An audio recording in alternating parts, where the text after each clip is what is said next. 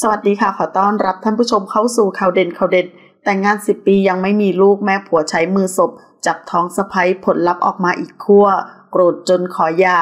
ล่าสุดมีเรื่องราวของสามีภรรยาคู่หนึ่งที่แต่งงานกันมา 10 ปี แต่ไม่มีทีท่าว่าภรรยาจะตั้งท้องเลย ไม่เพียงแต่พวกเขาสองคนกังวลเท่านั้น แต่ยังทำให้แม่สามีที่อยากมีหลานกังวลมากด้วย และเลือกใช้ความเชื่อตามตำราพื้นบ้าน โดยไม่คาดคิดว่าผลลัพธ์ที่ออกมา จะทำให้ชีวิตคู่ของลูกชายพังทลายลงตามรายงานพบว่าแม่สามีโทรมาแจ้งข่าวว่า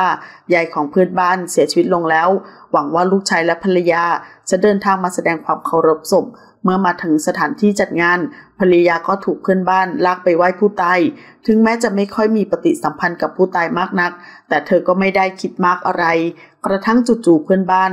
ดึงมือยายออกจากโลงศพ และนำมาสัมผัสหน้าท้องของเธอสามครั้งเน้นๆ ซึ่งทำให้เธอตกตะลึงทันที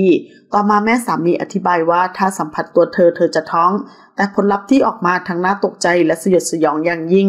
นอกจากภรรยาจะไม่ตั้งท้องแล้ว เธอยังถูกตามหลอกหลอน แถมถูกผีกดลงเตียง สิ่งที่เกิดขึ้นทำให้เธอรู้สึกโกรธอย่างมาก จนสุดท้ายแล้วถึงกับขออย่าขาดจากสามี ความจริงแล้วตามความเชื่อโบราณที่ได้ยินบ่อยที่สุดก็คือ ให้ยืมพลังจากคนท้อง โดยนำมือของคนที่กำลังตั้งท้องอยู่นั้น มาสัมผัสที่หน้าท้องของหญิงที่ต้องการตั้งครรภ์หรือความเชื่อที่นำสิ่งมงคลมาวางไว้ข้างเตียง แต่ทั้งหมดนั้นล้วนเป็นเพียงนิยายพื้นบ้านที่เล่าขานต่อกันมาเท่านั้น